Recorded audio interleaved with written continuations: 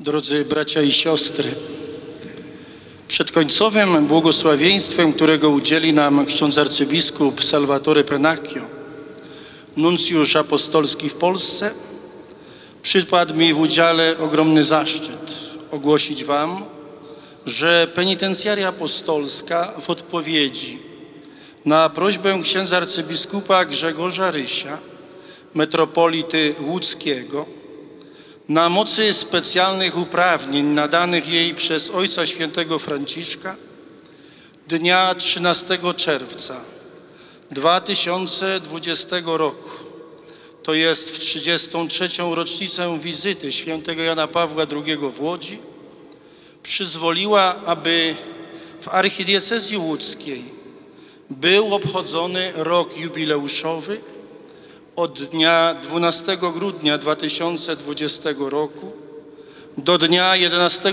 grudnia 2021 roku. Na ten czas udzieliła też daru odpustu zupełnego. W roku jubileuszowym najważniejszym kościołem, do którego będą mogli pielgrzymować wierni, będzie Bazylika Archikatedralna w Łodzi. Ponadto dar odpustu zupełnego będzie można uzyskać również udając się w pielgrzymce do jednego z piętnastu kościołów stacyjnych naszej archidiecezji wskazanych przez jej pasterza.